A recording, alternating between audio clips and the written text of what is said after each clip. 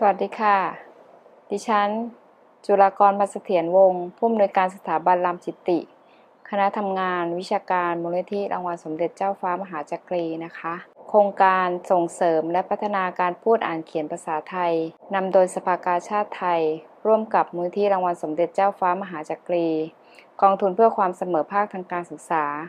มหาวิทยาลัยเกษตรศาสตร์ มหาวิทยาลัยเทคโนโลยีพระจอมเกล้าธนบุรี และหน่วยงานภาคีที่เกี่ยวข้อง โครงการดังกล่าวสืบเนื่องมาจากพระราชดำริของสมเด็จพระกนิษฐาธิราชเจ้า กรมสมเด็จพระเทพรัตนราชสุดา สยามบรมราชกุมารี ซึ่งทรงห่วงใยเด็กๆ ในถิ่นทุรกันดารนะคะ โดยเฉพาะอย่างยิ่งในช่วงสถานการณ์ การแพร่ระบาดของไวรัสโคโรนา 2019 ที่ส่งผลกระทบต่อการปิดการเรียนการสอนหรือการที่เด็กในท้องถิ่นต่างๆ เนี่ยต้องดูแลตัวเอง แล้วก็เรื่องของสถานการณ์ดังกล่าวเนี่ยส่งผลต่อภาวะถดถอยทางการเรียนรู้ในเรื่องของการพูดอ่านเขียนภาษาไทยนะคะ โดยเฉพาะเด็กที่อยู่ในถิ่นทุรกันดารต่างๆ โครงการดังกล่าวจึงเป็นความร่วมมือของหน่วยงานต่างๆ ที่กล่าวมาข้างตนซึ่งได้ดำเนินโครงการมาตั้งแต่ปีพุทธศักราช 2563 ตอนนั้นคณะทำงานวิชาการโครงการ ซึ่งนำโดยท่านดรกฤษณพงศ์กิรติกร และภาคีที่เกี่ยวข้องเนี่ยได้ร่วมมือกันวางแผนในช่วงปี 2563 เนี่ยจะมีโครงการตั้งต้นจากจังหวัด น่านนะคะ เป็นพื้นที่นำร่อง จากนั้นมาก็จะมีการเคลื่อนที่จังหวัดแม่ฮ่องสอนนะคะ จังหวัดราชบุรีแล้วก็จังหวัดตากนะคะ ส่วนใหญ่ก็จะเป็นพื้นที่ชายแดนนะคะ โดยภาวะของบริบทของพื้นที่ชายแดนเนี่ยถิ่นธุรกันดารห่างไกล ซึ่งเด็กๆ ส่วนใหญ่ก็จะอยู่ในพื้นที่เหล่านี้ที่ไม่สามารถ ลงมาเรียนในโรงเรียนได้เนื่องจากโรงเรียนปิด แล้วเด็กส่วนใหญ่เนี่ยก็จะตัดขาดจากการเรียนรู้หรือว่าโลกของการเรียนที่เป็นลักษณะของออนไซต์แนวคิดของโครงการจึงพยายามทำงานเรื่องการส่งเสริมและพัฒนาการพูดอ่านเขียนภาษาไทยเนี่ยเพื่อแก้ปัญหาการอ่านไม่ออกเขียนไม่ได้ของเด็กๆ แล้วก็พยายามสร้างกลไกอาสาสมัครทางการศึกษานะคะหรือที่เราเรียกว่าอสสลามมานะคะเป็นอสมทางการศึกษาเนี่ยเพื่อเข้าไปช่วยดูแลเด็กๆ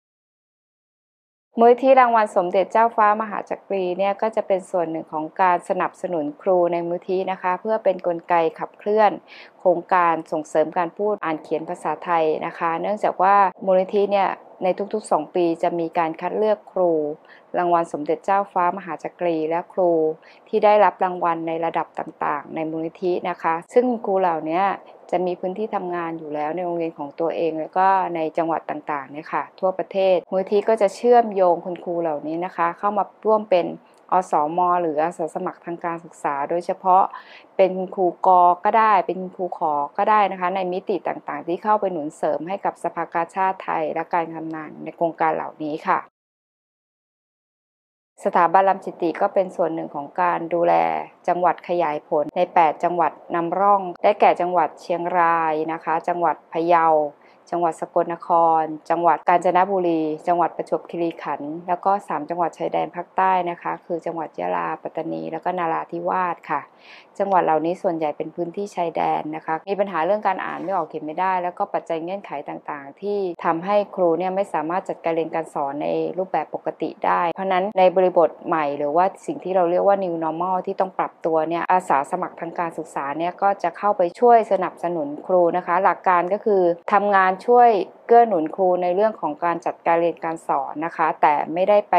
ทำงานทับหน้าที่ที่ครูประจำการปกติทำงานอยู่แล้วนะคะ เพราะนั้นรูปแบบของอสมที่ลงไปทำงานกับโรงเรียนน่ะก็อาจจะไปช่วยจัดกิจกรรมสอนเสริมนะคะ จัดค่ายหรือแม้แต่เป็นกิจกรรมหลังเลิกเรียน หรือกิจกรรมในช่วงวันหยุดเสาร์อาทิตย์ที่จะไปช่วยครูในการสอนเสริมนะคะ อันนี้ก็จะเป็นภาพรวมๆของกลไกอสมที่ลงไปทำงานนะคะ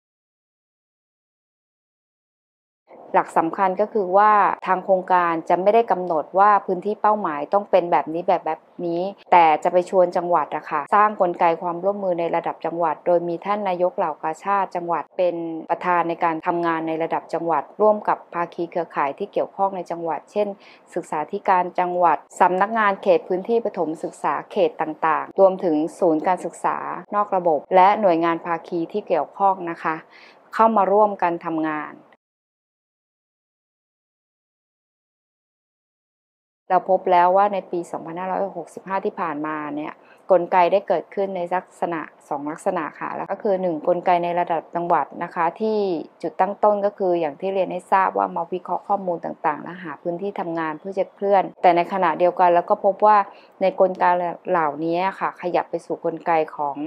ท้องถิ่นหรือท้องที่หรือในเชิงพื้นที่ก็คือว่ามีท่านในอำเภอ มีนายกกิ่งกระชาตินะคะ หรือว่าแม้แต่ท่านนายกอบตนะคะ แล้วก็กำนันผู้ใหญ่บ้านต่างๆเนี่ยเข้ามาร่วมมือกันด้วย ในการที่จะเป็นส่วนหนึ่งของกลไกขับเคลื่อนในระดับพื้นที่นะคะข้อมูลก็สรุปได้ว่า1นนะคะในด้านของข้อมูล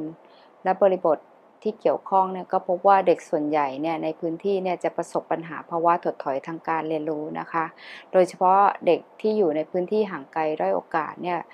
ก็จะมีปัญหาเรื่องนี้สูง แล้วก็โดยเฉพาะอย่างยิ่งการจัด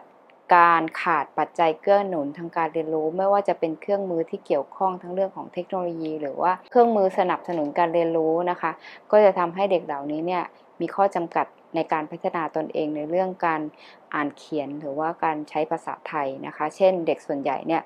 มีภาษาแม่เป็นเด็กชนเผ่า หรือว่าเป็นเด็กชาติพันธุ์ แล้วก็มีภาษาแม่ของตัวเอง ไม่ค่อยได้ใช้ภาษาไทย เด็กเหล่านี้ก็จะประสบปัญหาของการที่ยังไม่สามารถฟังพูดอ่านเขียนภาษาไทยได้ดีเท่าที่ควรนะคะ ซึ่งก็พบว่า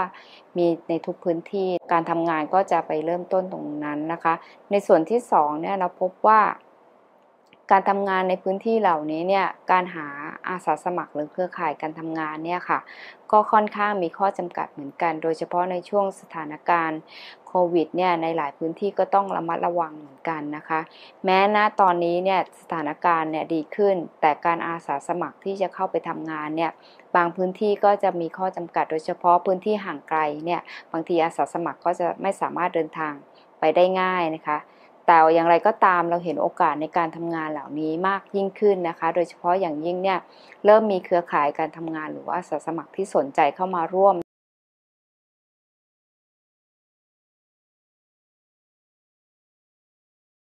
บทบาทอีกจุดหนึ่งของการเคลื่อนในปี 65 โดยการเชื่อมร้อยระดับจังหวัด สู่ระดับพื้นที่ แล้วก็ระดับของการเปลี่ยนโรงเรียนและเครือข่าย แล้วก็ห้องเรียนนะคะที่เป็น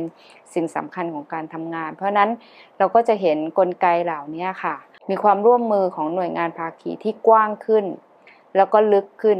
นะคะ แล้วก็มีการทำงานต่อเนื่องเพิ่มมากขึ้น เพราะเนื่องจากต้องมีกลไกกำกับติดตามต่างๆนะคะ เพราะนั้นในระดับของอำเภอหรือกิ่งกาชาติก็ตามเนี่ยการทำงานเนี่ยก็จะเชื่อมโยงไปกับสำนักงงานเขตพื้นที่ ต่างๆ ด้วย ก็จะทำให้การทำงานเหล่านี้ได้หนุนเสริมพลังซึ่งกันและกันในระหว่างของการทำงานด้านการศึกษา การทำงานของหน่วยงานของกาชาติ การทำงานของสาธารณสุข หรือกศน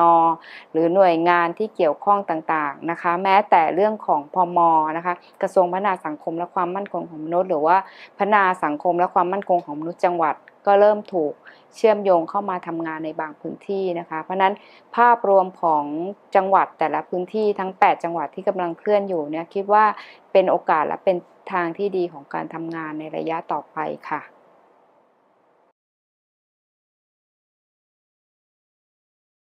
อย่างไรก็ตามเนี่ยเรายังอยู่ในความท้าทายในหลาย ๆ เรื่องนะคะ โดยเฉพาะแม้เราตั้งต้นได้ดีในปี 65 หรือว่ามีการทำงานต่อเนื่องในหลายจังหวัดเนี่ยทางสภากาชาติไทยเอง แล้วก็หน่วยงานที่เกี่ยวข้องโดยเฉพาะคณะทำงานวิชาการเนี่ยเราก็ยังอยากเห็นนกลไกเหล่านี้ขับเคลื่อนไปอย่างเป็นระบบ แล้วก็มีกลไกในการติดตามหนุนเสริมคนทำงานในพื้นที่นะคะ ให้เกิดพลังของการทำงานอย่างต่อเนื่อง แล้วก็มีคุณภาพ แล้วก็สามารถช่วยเหลือและแก้ปัญหาการอ่านไม่ออก ขียนไม่ได้ของเด็กได้ เพราะอันที่หนึ่งแม้ว่าเด็กรุ่นนี้เนี่ยจะสามารถถูกช่วยเหลือแล้ว แต่ก็จะมีเด็กรุ่นใหม่ที่เข้ามาเรียนอย่างต่อเนื่องเรื่อยๆ แล้วก็เราเริ่มเห็นปรากฏการณ์บางอย่างในพื้นที่ที่คิดว่าเป็นปรากฏการณ์ที่ท้าทาย โดยเฉพาะอย่างยิ่งของการไหลเวียน ของเด็กนะคะ ที่ข้ามไปข้ามมาจากพื้นที่ต่างๆ หรือการไหลเข้าไหลออกของของเด็กเนี่ยเรื่องที่ 1 เรื่องที่2เนี่ยเราคิดว่าเรื่องของแนวโน้ม การอ่านไม่ออกเขียนไม่ได้ หรือแนวโน้มของเด็กที่จะหลุดระบบเนี่ยก็อาจยังเป็นสัญญาณสำคัญที่จะเกิดขึ้นอย่างต่อเนื่อง ซึ่งอันนี้เนี่ยก็เป็นโจทย์สำคัญ เช่นเดียวกันเรื่องที่3คิดว่าเรื่องภาษาไทยเนี่ยอาจจะไม่ใช่แค่เรื่อง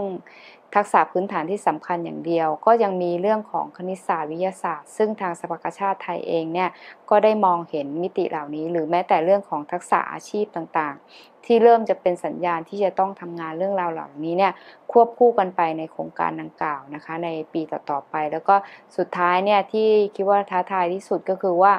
อย่างไรก็ตามเนี่ยเรากำลังเผชิญกับสิ่งที่เรียกว่า new normal หรือบริบทใหม่แล้ว การศึกษาเองก็ยังต้องปรับตัวปรับหลาย ๆ เรื่องทั้งเรื่องการเรียนการสอน ทั้งเรื่องการจัดการนะคะ แล้วก็ทั้งเรื่องของการเจอผู้เรียนในยุคใหม่เนี่ยสิ่งเหล่านี้เนี่ยก็เป็นเรื่องที่โรงเรียนหรือครูเองก็ต้องปรับตัว แล้วก็หน่วยงานที่ทำงานกับครูหรือโรงเรียนเองก็ต้องเข้าไปสนับสนุนบนฐานความต้องการแล้วก็ความพร้อมแล้วก็ความต้องการ การช่วยเหลือหรือแม้แต่บริบทของพื้นที่เนี่ยค่ะเป็นตัวตั้งนะคะ โดยเฉพาะอย่างยิ่งเนี่ยเราเห็นเลยว่าในโลกยุคใหม่เนี่ยตอนนี้คุณครูเองก็ต้องเผชิญกับสถานการณ์ การจัดการชั้นเรียนของเด็กที่หลากหลาย ทั้งในแง่ของเด็กที่มีทั้งพร้อมและไม่พร้อมทางการเรียนรู้ เด็กที่เผชิญภาวะถดถอยทางการเรียนรู้ หรือแม้แต่แนวโน้มของเด็กที่มีความต้องการพิเศษนะคะ ที่บางท่านก็เรียกว่ามีทั้งตอนนี้เจอทั้งเด็ก LD เจอทั้งเด็กที่แบบมีความต้องการพิเศษในด้านต่างๆ เข้ามาห้องเรียนมากขึ้น เราจะจัดการศึกษาที่เรียกว่าการศึกษาแบบเรียนรวมหรืออะไรก็ตามเนี่ยอย่างไรเนี่ยทางกลไกที่จะเข้าไปทำงานอสมอเองก็ต้องเข้าใจในบริบทใหม่นี้ เพื่อจะได้ช่วยสนับสนุนของครูอย่างเต็มที่ค่ะ ในความท้าทายเหล่านี้เราคิดว่าในกลไกของการทำงานในระยะต่อๆไป หรือเพื่อทำงานไปสู่อนาคตเนี่ย ก็จะต้องมานั่งออกแบบ แล้วก็นั่งทบทวนแล้วก็ช่วยกันวางยุทธศาสตร์ในการทำงานอย่างมีพลัง เพื่อจะช่วยให้กลไกทั้งภาพรวมเนี่ยเข้าไปสนับสนุนหรือเป็นเงื่อนไขที่ทำให้เกิดการเปลี่ยนแปลงที่ดีให้กับพื้นที่ แล้วก็ภาพรวมทั้งหมดของประเทศไทยค่ะ